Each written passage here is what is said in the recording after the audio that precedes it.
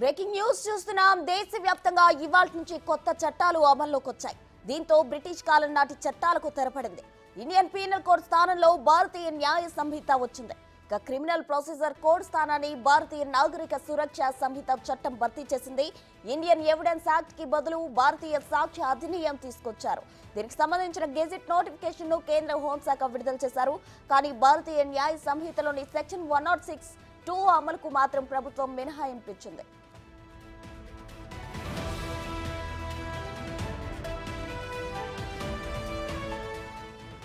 ఈ సెక్షన్ ప్రకారం వాహనాన్ని అతివేగంగా నిర్లక్ష్యంగా నడిపి ఒకరి మరణానికి కారణమైతే వాళ్ళకు గరిష్టంగా పదేళ్ళ శిక్ష విధించాలి.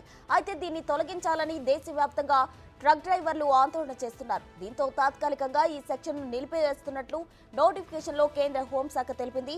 ఈ మూడు చట్టాలకు సంబంధించిన బిల్లులను ఎన్డీఏ ప్రభుత్వం గతేడాది ఆగస్టు పదకొండున లోక్సభలో ప్రవేశపెట్టింది. తర్వాత పార్లమెంటరీ స్థాయి సంఘం పరిశీలనకు కేంద్రం పంపింది. పార్లమెంటరీ స్థాయి సంఘం నివేదిక ఇచ్చిన తరువాత డిసెంబర్ ఇరవైన లోక్సభలో ఇరవై ఒకటిన రాజ్యసభలో బిల్లులకు ఆమోదం లభించింది. పార్లమెంట్ ఉభయ సభల్లో ఆమోదించిన చట్టాలకు డిసెంబర్ ఇరవై ఐదున రాష్ట్రపతి ద్రౌపది ముర్ము తన సమ్మతిని తెలిపారు.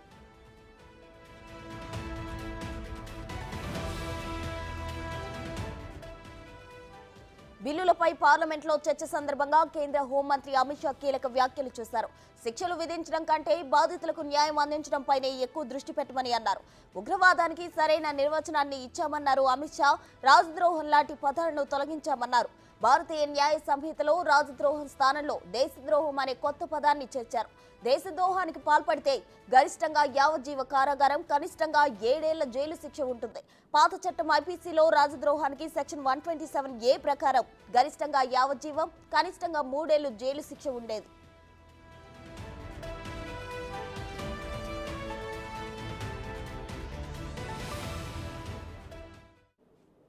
మరిన్ని వివరాలు మా ప్రతినిధి శివ లైవ్లో అందించడానికి సిద్ధంగా ఉన్నారు. శివ చెప్పండి అయితే దేశవ్యాప్తంగా ఇవాళ నుంచి కొత్త చట్టాలు అయితే అమల్లోకి రానున్నాయి. ఒక చట్టానికి అయితే తాత్కాలికంగా మినహాయింపు ఇచ్చినట్లు తెలిసింది. ఓవరాల్ డీటెయిల్స్ ఏంటి?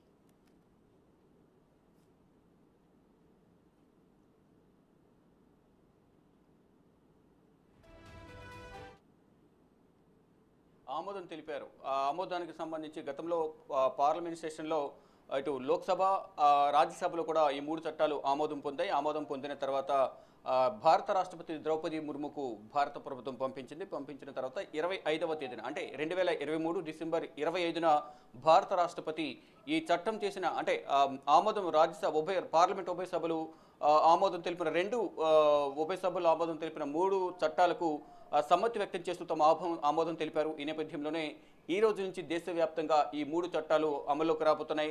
అంటే ఇండియన్ పీనల్ కోడ్ ఐపీసీ అలాగే సిఆర్పిసి క్రిమినల్ ప్రొసీజర్ కోడ్ అలాగే Indian act Indian evidence act ఈ మూడు ప్లేసుల్లో భారత న్యాయ సంహిత అలాగే భారత న్యాయ సురక్ష సంహిత మరోవైపు భారత సాక్ష్య అధినియం ఈ మూడు చట్టాలు అనేవి అమల్లోకి రాబోతున్నాయి. అయితే ఈ సాధ్య సాధ్యాలపై గతంలోనే గత పార్లమెంట్ సెషన్లో రెండు వేల ఇరవై మూడు ఆగస్టు పదకొండున పార్లమెంటరీ స్థాయి సంఘానికి దీన్ని పంపించారు. పంపించిన తర్వాత పార్లమెంటరీ స్థాయి సంఘం ఒక నివేదికనిచ్చింది. ఆ నివేదిక ఇచ్చిన తర్వాత అప్పటి ప్రభుత్వం అండ్ ఎన్డీఏ రెండవ ప్రభుత్వం ఇటు పార్లమెంట్ ఉభయ సభల్లో కూడా బిల్లును ప్రవేశపెట్టారు. బిల్లును ప్రవేశపెట్టిన తర్వాత లోక్సభలో డిసెంబర్ ఇరవై ఒకటి రాజ్యసభలో డిసెం లోక్సభలో డిసెంబర్ ఇరవై రాజ్యసభలో డిసెంబర్ ఇరవై ఒకటిన ఆమోదం తెలిపారు. ఈ బిల్లులు ఆమోదం తెలిపే క్రమంలో ఇవి సాధ్యం కాదు అంటూ కూడా పార్లమెంట్లో ప్రతిపక్ష పార్టీల నేతలు ఆందోళన నిర్వహించారు. దాదాపు నూట నలభై నుంచి నూట యాభై మంది ఎంపీలను సస్పెండ్ చేసి ఈ బిల్లును అమలు చేశారనేది ప్రతిపక్ష పార్టీలు గతంలోనే విమర్శలు చేశాయి. ఈ బిల్లును వ్యతిరేకిస్తూ ఈ బిల్లును వ్యతిరేకిస్తూ ఇప్పటికీ కూడా సుప్రీంకోర్టులో కొంతమంది పిటిషన్లు దాఖలు చేశారు. కొన్ని రాష్ట్రాల ముఖ్యమంత్రులు కేంద్ర హోంశాఖకు లేఖ రాసి దీంట్లో కొన్ని మార్పులు చేర్పులు చేయాలంటూ కూడా లేఖ రాసిన నేపథ్యంలో దానికి సంబంధించి ఇంకా ఇటువంటి రిప్లై రాలేదంటూ ఇటు పశ్చిమ బెంగాల్ ముఖ్యమంత్రి మమతా బెనర్జీ తమిళనాడు ముఖ్యమంత్రి ఎంకే స్టాలిన్ కూడా దీనిపై వ్యతిరేకత వ్యక్తం చేస్తున్నారు. మరోవైపు ఇటు ఈ విధంగా సాధ్యమవుతాయంటూ కూడా వారైతే దీన్ని వ్యతిరేకిస్తూ ఉన్న పరిస్థితి కనిపిస్తుంది. మరోవైపు కేంద్ర ప్రభుత్వం జూలై ఒకటి మూడు చట్టాలు అమల్లోకి వస్తాయి కాబట్టి దానికి అనుగుణంగా వ్యవహరించాలంటూ ఇప్పటికే రాష్ట్రాల హోంశాఖలకు ఆదేశాలు జారీ చేసిన నేపథ్యంలో ఆ రాష్ట్రాల హోంశాఖకు సంబంధించిన పోలీస్ డిపార్ట్మెంట్ అధికారులందరూ కూడా కింది స్థాయి అధికారులకు ఇప్పుడు నూతన చట్టం అమల్లోకి రాబోదు కాబట్టి దానికి సంబంధించి ఎఫ్ఐఆర్ నమోదు చేయడం కానీ సెక్షన్ నమోదు చేయడం ఏ కేసు ఏ సెక్షన్ కింద వస్తుంది అనేది కూడా జాగ్రత్త వహించాలి. మరోవైపు ఛార్జ్ షీట్ దాఖలు చేసే నేపథ్యంలో కూడా సెక్షన్ల కింద మాత్రమే ఈ ఈ కేసులను నమోదు చేయాలి. మొత్తం ఎఫ్ఐఆర్ బుక్ చేయాలనేది ప్రధానంగా ఇప్పటికే సూచనలు చేస్తున్నారు. మరోవైపు కొన్ని కొన్ని చోట్ల అడ్వకేట్లు కూడా ఆయా కో- ఆ హైకోర్టుకు సంబంధించిన సీనియర్ న్యాయవాదులు కానీ హైకోర్టుకు సంబంధించి చీఫ్ జస్టిస్లు కూడా అడ్వకేట్స్ కొన్ని సూచనలు చేస్తున్నారు. దానికి అనుగుణంగానే మీరు కేసులు టేకప్ చేయాలి కేసులు వాదించాలి అనేది ప్రధానంగా వారందరికీ సూచనలు చేస్తున్నారు ఇక ఈ రోజు నుంచి దేశవ్యాప్తంగా భారత చట్టాలకు సంబంధించి మూడు నూతన చట్టాలు అమలులోకి రాబోతున్నాయి. ఇక ఇండియన్ పీనల్ కోడ్లో భారత న్యాయ సంహితలో ఒక సెక్షన్ మాత్రం one zero six sub section two. దీంట్లో ఈ ఈ సెక్షన్ కింద వాహనదారులు అంటే ట్రక్ డ్రైవర్లు ఎవరినైనా యాక్సిడెంట్ చేసి ఆ యాక్సిడెంట్లు ఎవరైనా చనిపోతే మాత్రం అటువంటి వాహనదారుడికి డ్రైవర్కు దాదాపు గరిష్టంగా పది సంవత్సరాల యావజ్జీవ కారాగార శిక్ష పడే అవకాశం ఉన్న నేపథ్యంలో అందరూ ట్రక్ డ్రైవర్లందరూ కూడా ఈ సెక్షన్ నుంచి మాకు మినహా మినహాయింపు ఇవ్వాలి. అంటే దురుసుగా అతివేగంగా ఈ వాహనాలు నడపడం ద్వారా యాక్సిడెంట్లు జరుగుతున్నాయి. అందువల్ల ఈ వాహన ఈ యాక్సిడెంట్లు కంట్రోల్ చేయాలంటే ఆ కఠిన శిక్షలు అమలు చేయాలనే యోచనలో కేంద్ర ప్రభుత్వం దానిలో భాగంగానే పది సంవత్సరాల గరిష్ట శిక్ష విధించాలని నిర్ణయించింది. కానీ దేశవ్యాప్తంగా ట్రక్ డ్రైవర్లు రోడ్లపైకి వచ్చి నిరసన వ్యక్తం చేస్తున్న నేపథ్యంలో అంటే మొత్తం డే అంతా జర్నీ చేసి ఉంటారు నిద్రమత్తులో కానీ అనుకోకుండా యాక్సిడెంట్లు జరగడం వల్ల పది సంవత్సరాల జైలు శిక్ష అనేది చాలా ఇబ్బందిగా ఉంటుంది కాబట్టి అంటే భవిష్యత్తు అనేది మొత్తం జైల్లోనే ఉండాల్సిన పరిస్థితి ఉంటుంది. కుటుంబ వారి మీద ఆధార ఆధారపడిన కుటుంబం కూడా ఇబ్బందులు ఎదుర్కొంటుంది కాబట్టి దాంట్లో మార్పులు చేర్పులు చేయాలని కోరిన నేపథ్యంలో ప్రజెంట్ అయితే one zero sec one zero six sub section two ఇది మాత్రం ప్రజెంట్ నిలుపుదల చేశారు. మిగతా సెక్షన్లను కూడా అమల్లోకి ఉంటాయి అమల్లోకి వస్తాయంటూ కూడా కేంద్ర ప్రభుత్వం తెలిపింది. మరోవైపు